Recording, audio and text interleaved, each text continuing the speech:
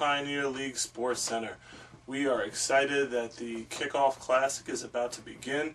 The spring teams have been practicing and they're ready to go. Let's check out the matchups for Week One. Week One. In our first game, we have the Staten Island Bandits and the Brooklyn Bobcats. That is going to be a 3:30 kickoff at McCombs Dam Park. Great matchup of two teams that are very familiar with each other as they squared off last year. Now, this year could be a lot different because the Brooklyn Bobcats have been working this offseason, getting things ready to go, and making sure that uh, last year is no indication of what their record is going to be this year. We caught up with Mama Bobcat, and she let us know that things are definitely changing over there in Bay Ridge. This team this year. That's all I gotta say. They, we got a lot of guys that are just focused on winning and doing the things that they're supposed to do. It's a complete difference from last year. Their opponent for the first week is the Staten Island Bandits. The Bandits have been putting in work themselves in the this past off season.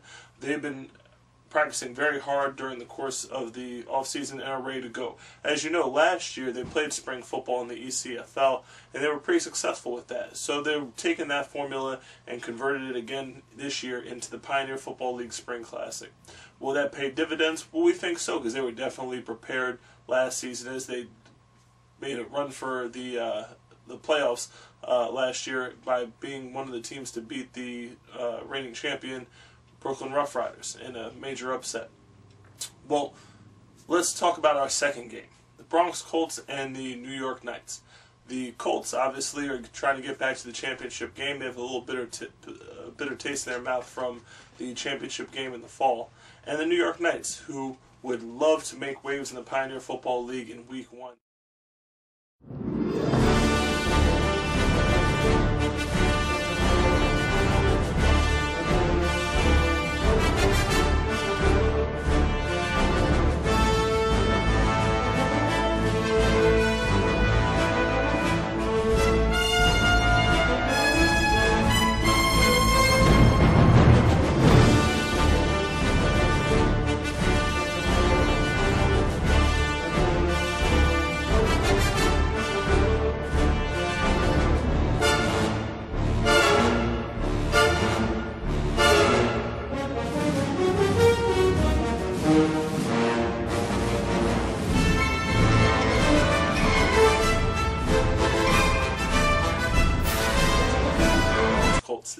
Game of two host teams for our tournament.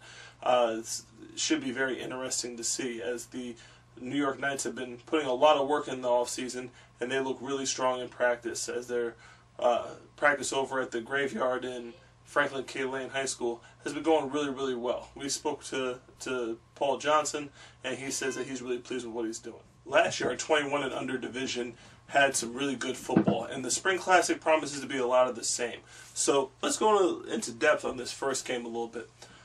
The Bobcats and the Staten Island Bandits. Well, the Bobcats have made a lot of upgrades in the offseason. We have to see whether, especially earlier on in the game, that the turnover bug doesn't hit them like they did last year. They were close in a lot of games to start, but when they started turning the ball over, that's when things kind of went downhill for them.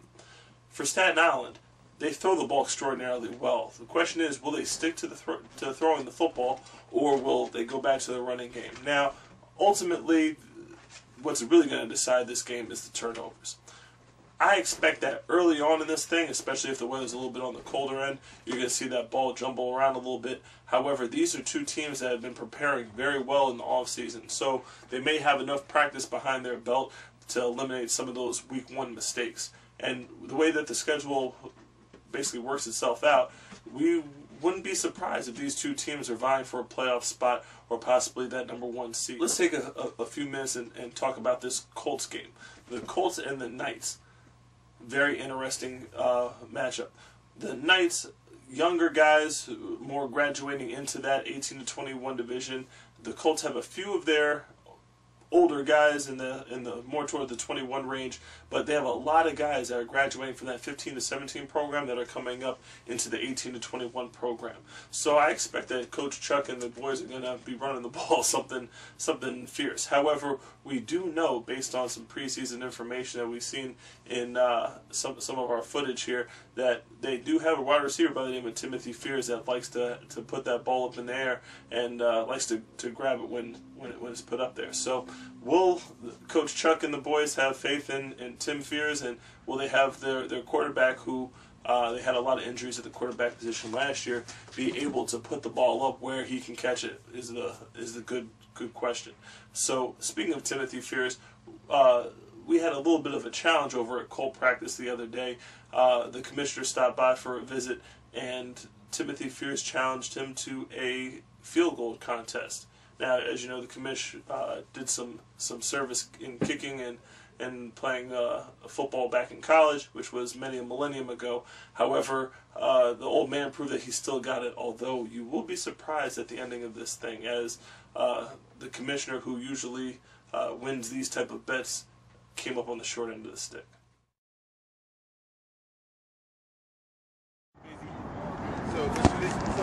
Bang! Bang! Bang! Heat! No. Heat! No, no, no, no. Heat! Yeah! Heat! Bang! Bang! Bang! Bang! That was a fluke. Bang! Bang!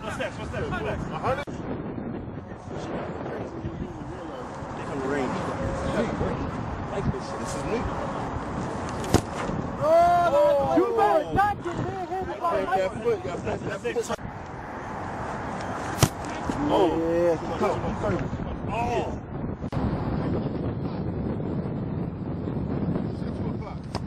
Where? Show me. Let's go. Let's go. Let's go. 40 yards. Yo, Tim, Tim, Tim. Oh, make this, you cut their runs in half. Whoa! Oh! Big money. Oh, let me get comfortable for you, baby. Let's go, Tim. Let's go. Glad. Let's go. Let's go, Tim, baby.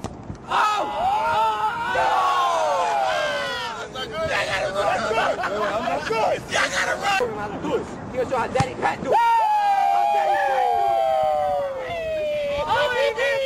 He you. Did Janikowski. Jenny Kowski. He wants that. That's fire. Y'all follow through with it. I know.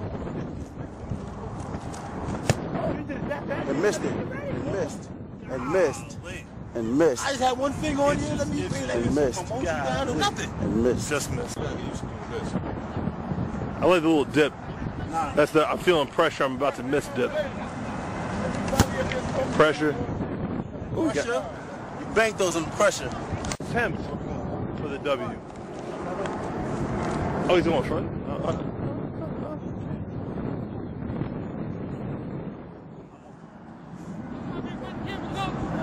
A little dip. Chill, chill, chill. Good. Good. Good. Uh-oh. Good.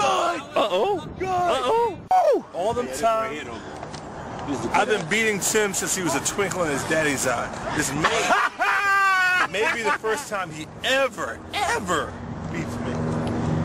Took off the shoe for the off the shoe. Shoe's coming off. Shoes oh, coming Move off. the shoe, move the shoe, y'all. Don't even need to move the shoe. That's Okay. there for a reason. The shoe's there for a reason. Okay. Oh, okay. Put back on the shoe. Put back on the shoe. Put back on the shoe. He's cheating. Put back on the shoe. That's Janikowski right there. Good. Good. Off the bank. And it bank right in. And it bank right in. So if I miss this, I'm dead. You miss this, it's over. It's over, man. Bank it right up in there. Golly. The young buck really got it, man. He's It's been working. You've been working, man. Good job. Hard Good work, job. man. First time ever. This man has done more laps, more sprints, more push-ups, losing to me, and all types of stuff. You've been working hard, man. Good job. Good job. Well, Pioneer Commissioner here. Now it's time to get to practice. Commissioner here, man. Bang, bang. And uh, you know, thanks for tuning in, and thank you for the continuous support of Pioneer football. Again, I'm Commissioner Patterson. Wishing you good night.